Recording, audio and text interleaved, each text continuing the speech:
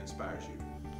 Oh, I think, you know, probably like every, everybody, it's you want to do well for your folks and people that raised you and people that helped you get there. And, and that's kind of, I guess, what mine is. Mine's probably my parents. And uh, my dad was a ball coach, so if there's, you know, if you can try to have a, live a life like he lived where you, where you do well and, and have, uh, have people's respect, I think that's probably the, the biggest inspiration is to, is to try to be well thought of by the guys you're competing against and see all the time.